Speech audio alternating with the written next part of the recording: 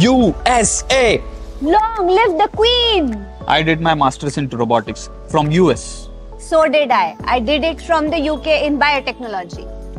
Together we had all the opportunities as well as things which attracted us to stay back. But we had a calling, a calling from our own hometown, our own Aurangabad. क्या करे दिल तो आखिर घर ही जाना चाहता है Aurangabad city has a bug a bug of togetherness, a bug of bonding. And this bug permeates into the culture of this city's entrepreneurship. Join us on ship of exhilarating conversations with the city's leaders. We call it Tejas. We start sailing on 12th of January 2024.